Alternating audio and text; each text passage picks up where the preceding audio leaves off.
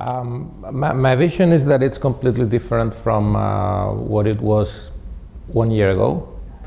Um, I think the, um, the Spanish economy still has fundamental problems, and I think uh, generally people are still struggling. But in terms of the law firms, um, our activity is very much linked to the level of investment in Spain, and, uh, and uh, that level of investment is booming. So we, uh, the law firms are, it is my view that we, the law firms, are no longer operating in a crisis market. So we should not see ourselves as uh, operating in a crisis. People uh, working in professional services um, where the activity is linked to investment, the crisis is over. Um, there is a lot of new work.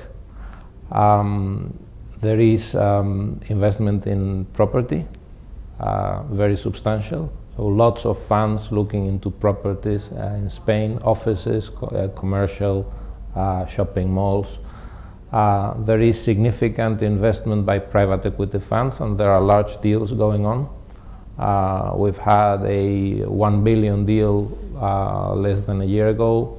There has been a recent um, pretty large deal uh, over a, a, listed company. Um, there is M&A activity. Spain has seen a 7 billion transaction very recently in the telecoms um, industry. Um, so there is a lot of work uh, and the challenges for the firms are different. It's no longer what do I do uh, with a boat uh, if there is no wind. It's more like uh, how do I sail, uh, you know, faster than my competitors because there is a lot of wind.